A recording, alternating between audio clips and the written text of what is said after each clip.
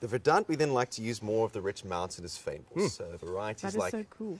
this beautiful spicy kooigoed over here.